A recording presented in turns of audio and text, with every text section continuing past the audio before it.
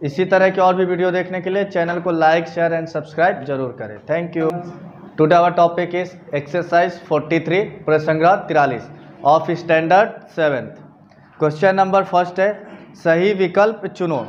यदि चाप ए x B तथा चाप ए वाई बी परस्पर संगत चाप है और मेज़रमेंट चाप ए एक्स बी एक सौ बीस अंश है तो मेज़रमेंट चाप ए वाई बी ज्ञात करो। फ़र्स्ट यदि चाप ए एक्स बी तथा चाप ए वाई बी, क्या है? संगत चाप है। देखो, चाप ए एक्स बी तथा चाप ए वाई बी। चाप ए वाई बी, ये कैसे चाप है? संगत हैं। कैसे हैं? संगत चाप हैं। अब इसमें से एक का माप दिया हुआ है। मेज़रमेंट चाप ए एक्स बी एक सौ बीस अंश। कितना है? एक सौ बीस अंश। तो मेज़रमेंट चाप ए वाई बी कितना? ए वाई बी कितना? तो हम लोग क्या करेंगे? 360 में से 120 को घटा देंगे, ठीक है ना? तो 360 अंश माइनस मेज़रमेंट चाप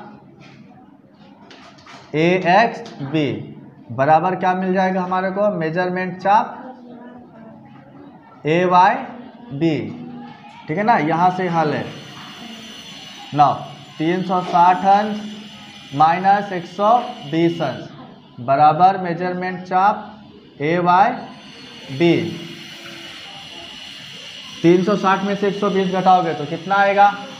ज़ीरो में से ज़ीरो गया ज़ीरो, छः में से दो गया चार। तीन में से एक घटाएँगे तो दो।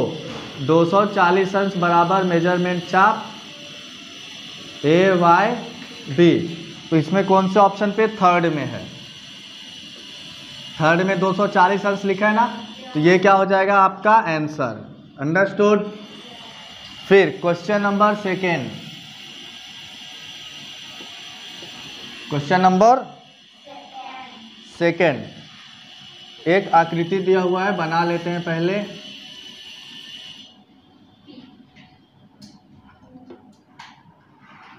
ये है P, इधर है X, Q, केंद्र कौन सा है? O.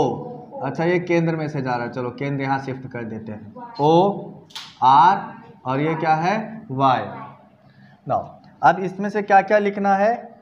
लघु चाप का माप। किसका लिखना है? तो पहले लघु चाप का माप लिख लेते हैं। लघु चाप अब इसमें कितने लघु चाप है? लघु चाप मतलब छोटे चाप तो लघु चाप। लघु देखो एक ये वाला दिख रहा है। तो यहाँ पे लिख लेंगे हम लोग चाप क्यू एक्स पी और कोई लघुचाप दिख रहा है क्या? देखो ये तो अर्धवृत्त है दोनों। चाप ए, क्यू वाई आर ये भी अर्धवृत्त है और चाप क्यू पी आर ये भी अर्धवृत्त है। यानी लघुचाप खाली कितना है? एक। एक ही है ना लघुचाप उसका देखते हैं अगर और मिलेगा तो और लिख लेंगे ना। दीर्घ चाप। क्या लिखते हैं अभी? दीर्घ चाप। तो देखो, ये लघु चाप है तो इसके इधर वाला क्या हो जाएगा? दीर्घ चाप। तो पी वाई क्यू। चाप, पी वाई क्यू। ये वाला क्या हो गया पूरा? दीर्घ चाप। क्या बन गया? और और देखो, लघु चाप एक और है। ये पी आर दिख रहा है। देखो, ये छोटा हिस्सा, इसके पीछे का हिस्सा, ये पूरा बड़ा है ना? तो लघु चाप एक और है। चाप पी आर। चाप पी आर। देखो, चाप का नाम तीन अक्षर से भी लिख सकते हैं और दो अक्षर से भी, ठीक है? तो एक हो गया चाप पी आर। उसी तरह यहाँ पे भी एक चाप बढ़ जाएगा। दीर्घ चाप में भी इसका दीर्घ चाप क्या हो जाएगा? P Q R. चाप पी क्यू आर। अब आती है किसकी बारी? अर्धवृत्त की।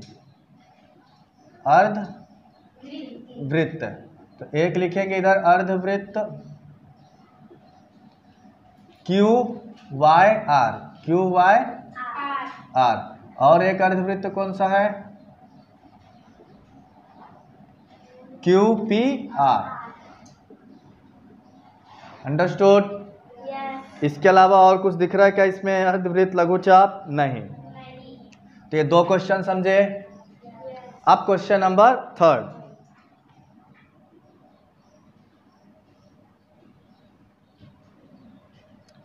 question number third संलग्न आकृति ओ केंद्र वाले वृत्त में लघु चाप पी एक्स क्यू का माप 110 अंश है।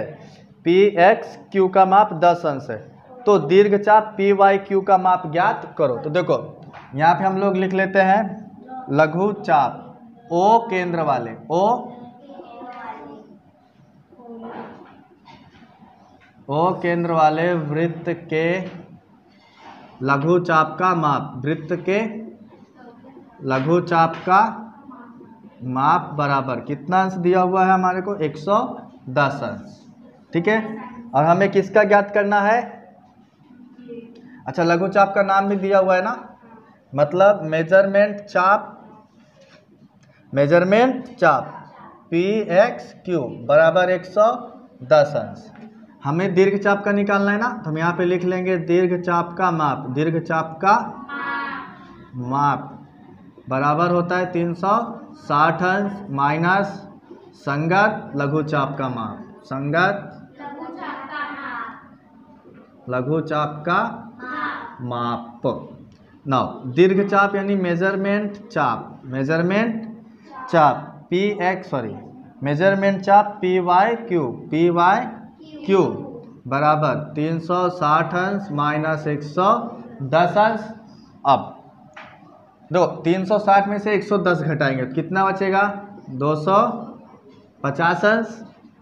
देखो, ज़ीरो में से ज़ीरो ज़ीरो। छः में से एक घटेगा तो पाँच और तीन में से एक घटेगा तो दो। तो मेज़रमेंट चाप पी वाई क्यू बराबर 250 अंश। तो आंसर में क्या आ जाएगा? 250 अंश अंडरस्टूड इसी तरह की और भी वीडियो देखने के लिए चैनल को लाइक शेयर एंड सब्सक्राइब ज़रूर करें। Thank you